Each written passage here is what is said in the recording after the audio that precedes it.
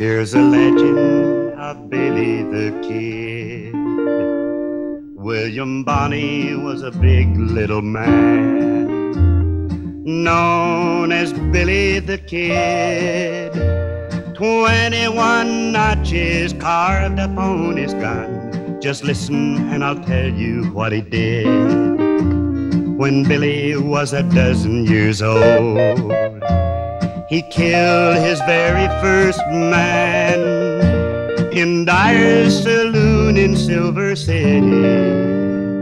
Crimson was a knife held in his hand. Put a gun in Billy's hand and he was big as any man. He fought and lived and loved outside the law. But if you live by the gun, you will die the same. You'll meet a man a little faster on the draw. The Lincoln County War began when Billy's friend was murdered by Mr. Murphy's crew. Billy vowed they all must die for the wrong they'd done. Seven men were dead when he was through. Pat Garrett had Billy in chains. The jury said that Billy must die. A careless move, two men dead, and the kid was free.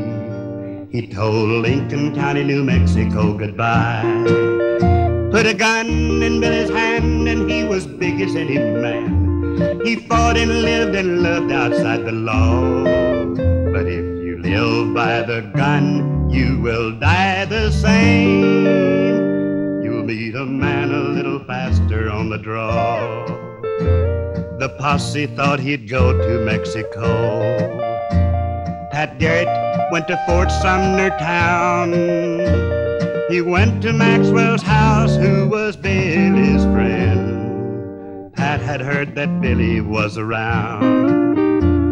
When Billy went to Maxwell's house for food, Garrett waited in the darkness of the room. A cowardly shot in the dark through poor Billy's heart. And Billy the Kid had met his fatal doom.